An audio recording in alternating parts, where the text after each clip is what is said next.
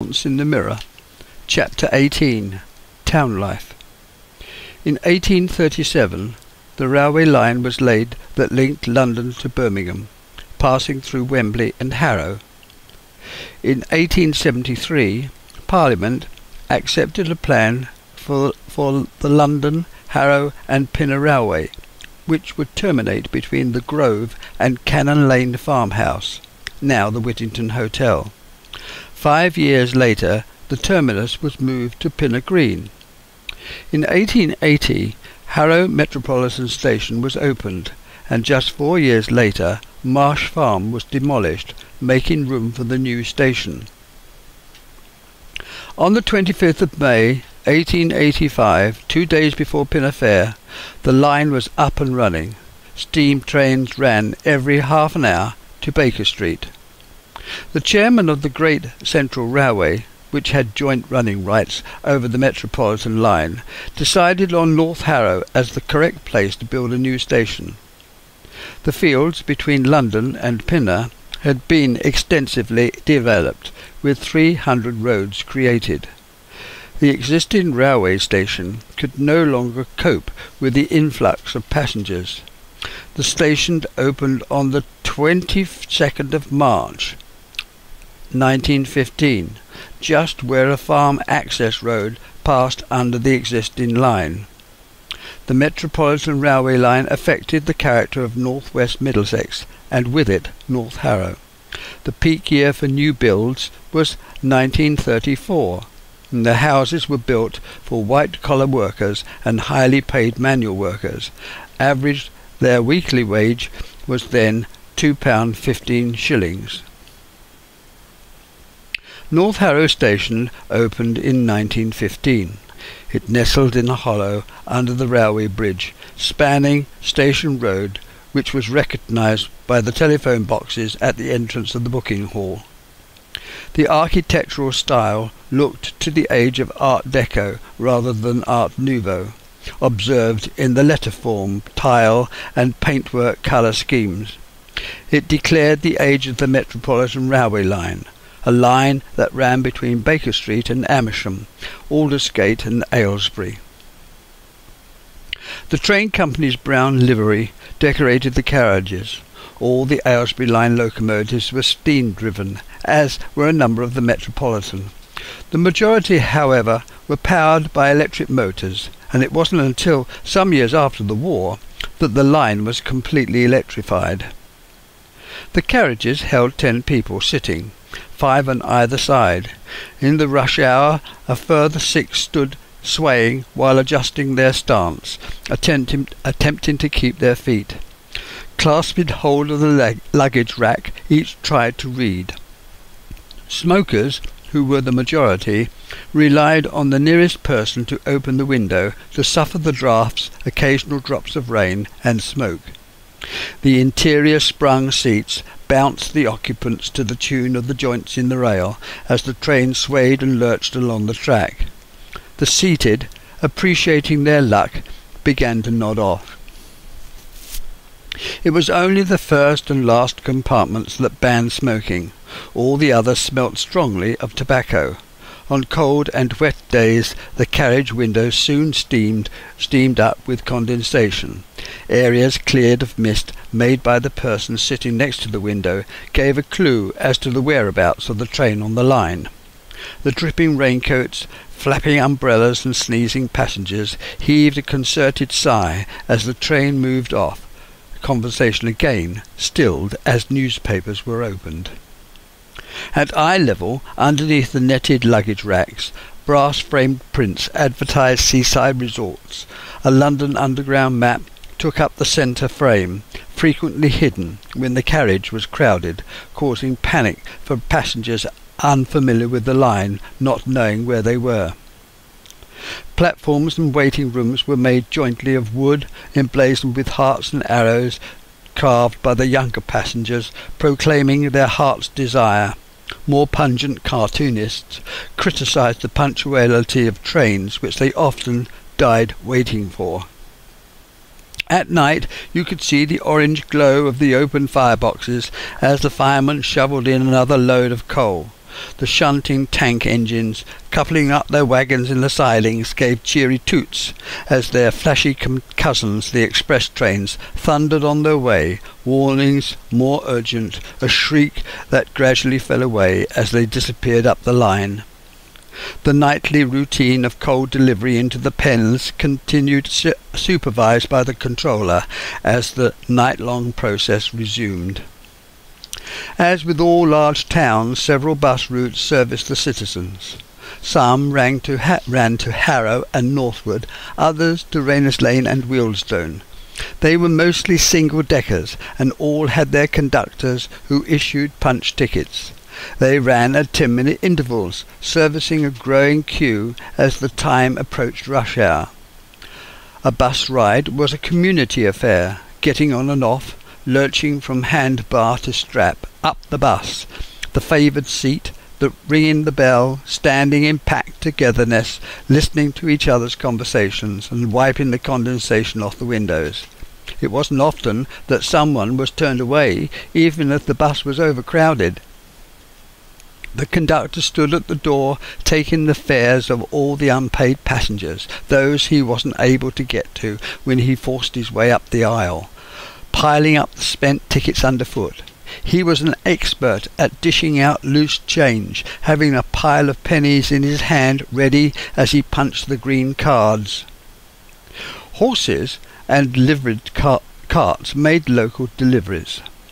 Elsie took up a, delivery of milk in quart, pint and half pint bottles, and quite often the milkman would leave a crate for collection the next time he called.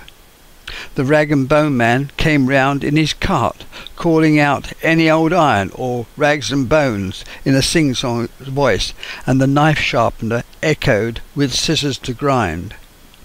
The newspaper seller on the corner of Pinner Road and Station Road stood by his upturned orange box outside United Dairies, his newspapers folded under his arm, calling out through rolled cigarette, Star News or Standard.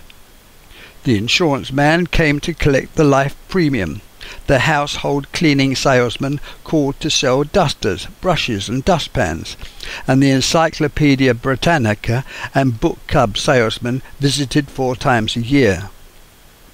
Postman delivered a mail twice a day, and the telegraph boy was often to be seen on his bike. Both were dressed in the uniform of the post office. The postman wore a suit and peaked cap, collar and tie. The telegraph boy wore a dark blue uniform with red piping and a pillbox cap, carrying the telegrams in a leather shoulder bag. They rode, both rode a red bike on loan from the sorting office. All the premier shops and stores, delivery men and tradesmen, wore a uniform that declared their status, status and business another social habit and conforming ritual, ritual and defined the age so differently from today's casualness and informality. Coal and coke was delivered in hundredweight sacks, delivered by the coalman, wearing his leather hooded and shouldered apron. At least four times a year a gypsy woman called to sell pegs and a posy of heather. Children played in the streets and called at each other's houses. Roller skates held roller skaters held onto the backs of passing carts. The chalked stumps, still visible on the garage doors from the match the day before, stayed all through the war. Mothers left their babies in coach-built prams outside their front doors to take in the morning air as Cumberland Road continued its daily life uninterrupted and contemptuous of all distant international events. English society wasn't altering its habits one jot to suit any jumped up foreigners, declared the papers. The jolliest annual attraction, attended by the majority of children, was Pinner Fair, the license granted by King Edward III in 1336. Their parents, needing little encouragement, attended in the evenings. The fair took up the whole of High Street and Pinner Road, being within arm's length of the houses on either side of the road. stalls and merry-go-rounds, helter-skelter, ghost house and a candy floss, roll a penny and toss a ring, all vied for attention, the stall owners shouting out in encouragement. The streamers, strung lights, and colourful bunting all contributed to the colourful occasion, whilst the steam organs piped out the old pre-war tunes. The fair, held one day a week, a week uh, only a year, the first Wednesday after Whit. Its charter awarded by Edward I was always well attended, even during the war years. There were never any disturbances needing the authority of a policeman, although they, although they were very evident. The nearest workhouse one time stood behind the George Public House in Pinner. Union workhouses and guardians of the poor were abolished in 1929, their place being taken up by the Public Assistance Committee under the MCC the workhouse being an institution and the infirmary a hospital. Pinner became a parish which separated it from Harrow. In 1766, Greater Harrow was formed in 1934, uniting Wealdstone, Hendon and Harrow under the title of Harrow Urban District Council. Harrow Borough received its charter of incorporation in 1954. In population and rateable value, Harrow became the largest urban district in England and Wales, secured its civic status and granted a charter. A charter. North Harrow, Pinner, Wealdstone and Rayners Lane were all part of this mighty borough, along with other one-time hamlets. They all were within comfortable walking distance and each had a cinema. This, this was the middle of the prosperous period, one of, the ex- of expansion and full employment. This happy state of affairs could be seen in the demeanour of its, citizens and in the ordered environment. All of this was about to change. North Harrow, that autumn, was a town with pride. As there was no industry in North Harrow, it was un- unusual to see any heavy traffic. The one exception was the brewer's dray, drawn by four huge shire horses, with jingling harness and tiny brass bells on their heads, driven by the drayman with his bowler hat, sitting on a high seat at the front of the dray. The heavy open-sided wagon clattered along the road, making for the Headstone Hotel. Its iron-clad wheels appeared to us uh, uh, children as massive. The drayman had a waterproof sheet drawn over his knees in all weathers. At his side a long whip stood in its holder. The carrier's van would be seen most days. The only large motor wagon belonged to the local removers called Willis. Its green painted sides proclaimed its purpose, guaranteeing same-day service. As the prosperity of the townspeople improved, some of the fathers acquired motorbikes, while others added a sidecar. The wife sat on the pillion seat and the children sat in the sidecar. It was a popular way for families to meet up, having a day out at the seaside. As there were few cars, the motorcycles assumed an important part of family life. The AA patrolman was available for their owners' assistance as if they became members. The brown uniformed patrolmen had a regular route to patrol, and their motorbike and sidecar was painted a bright yellow and often to be seen. The sidecar carried all his equipment necessary for basic repairs, his brown uniform jacket, jodhpurs, high calf leather boots and leather gauntlets were accompanied by polished brass buttons, peaked hat and AA badge. If he passed a car or motorbike bearing an association badge, he saluted whether he was attending to a repair or not. His route took him past the yellow boxes decorated with little gardens which carried a telephone which either he could use to any member of the association. The nearest box was in Station Road, close to the British restaurant.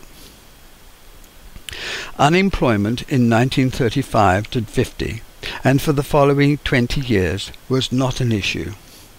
The main concern to Albert and El- Elsie was the advancement of war, brought on by the German attitude. A build-up of incidents which led to Chamberlain on the uh, 11:15 radio announcement on Saturday, on Sunday, the 3rd of September 1939, which took the country into war. The solemn statement was made with bated breath.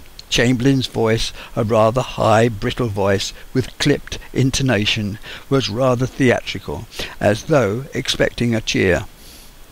France announced that they would be at war with Germany that afternoon, as did Australia and New Zealand. South Africa announced their intentions three days later, and Canada followed within the week. Whilst all this was going on, the inhabitants of North Harrow continued their lives as if nothing was happening. On the continent, British troops advanced through France to Lille, near the Belgian frontier. They dug defences, then advanced, leaving their prepared positions, then fell back, never to fully recover. The army was unfit for war, inadequately equipped, carrying outdated weapons and adopting inept tactics in a doomed campaign. By the end of the following May, the British Army was in full retreat to the coast and Dunkirk to re-embark and be shipped back home. It was thought by the populace that it was an act of providence, like the River Jordan parting. In fact, it demonstrated an, an almost total ineptitude brought on by thoughtlessness and ignorance, exhibited by most of the political and military elite. It took almost four years to recover. Then the outcome was inevitable. However, by that time, Britain was in debt to America and never to regain its premier position in the world. The British restaurant chain was a government institution organized in 1942 to cater for people who could not, for one reason or another, cook their own meals. There was one in Bennett's Park, Station Road, North Harrow, and behind the cinema at Rayners Lane. For a shilling you could buy a three-course meal when they first opened. They were cheaply built as prefe- prefabrications on a concrete slab and seen in most large towns. Others situated in suitable halls or galleries. In effect, they were they were soup kitchens, but on a far larger scale, and served a variety of meals. After the war, they still existed, but soon operated on a different footing, having to make a profit. They were hired out, hired out for jumble sales and evening classes, in effect becoming community centres. And by 1943 they served 700,000 meals per day, charging an increased fee of one shilling and twopence for a two-course meal. Sharing the same site at the back of the British restaurant was the Home Guard hut. The manager, David Village Villa's father, Basil, served there throughout the war and afterwards too. It served also as number 21 air raid precaution and warden's post. The war had very little effect on our young lives. It was almost seen as normal. We were in, at war with the Germans again. The cinema showed us how the war was progressing. The newsreel cameras of Pathé exposed the ever-efficient militaristic Germans and the casual, nonchalant British, always never quite getting it right. Thankfully, the Germans made more mistakes than we did. The area police station was at Pinner, two miles down the Pinner Road. You would always see a police officer on duty walking along the main road of all towns, at least twice a day, and again during the night, checking all the shop doors and windows, the alleyways and side roads. The patrolling sergeant who would phone into the police station using the blue call boxes found at most main roads junctions. If, as a child or even adult, told to abide by the law, you did as instructed. Police officers were very much respected citizens, perhaps even feared, and they saw to it that there was no cycling on the pavement and bikes had efficient brakes and a bell. All parks, recreation grounds and sports areas were monitored by their keepers, who acted very much like police officers in their duties. The Yeading Walk Gardens or Streamside Walk and Pinner Park, as all the other parks in the borough, had carefully designed flower beds arranged in floral decoration to give a fantastic riot of colour all summer season. Their beauty replicated those gardens at the seaside and London parks. The grass beautifully manicured and the edges trimmed. There was no cycling or roller skating, no walking on the grass or running about. The gardens facilities were built for recreational walking and in good maintenance, considered important to the town's standing. Bands played every weekend at the larger parks. Fountains worked, paving was regularly levelled and autumn leaves gathered.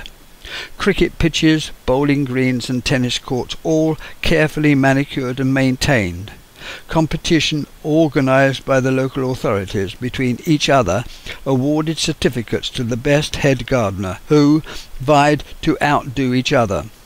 The workers used their winning certificates to obtain better jobs. Councils produced their own seedlings, trees and plants at the town's nursery. The local park was Streamside Walk.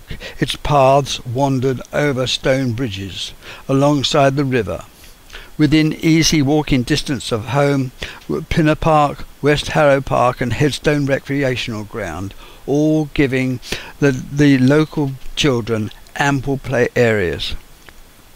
Streets had their own sweepers, who swept into the gutters the dust and waste made up into piles, to be loaded onto their carts and taken back to the council depot. Dustmen called once a week in the corporation dust cart, which had curved sliding lids to, to a half a dozen compartments. Each house had their own dustbin. Sandboxes were at main street corners, cut tops and bottoms of hills and level crossings to allow sand to be spread to give grip to horses and cars in icy, icy conditions.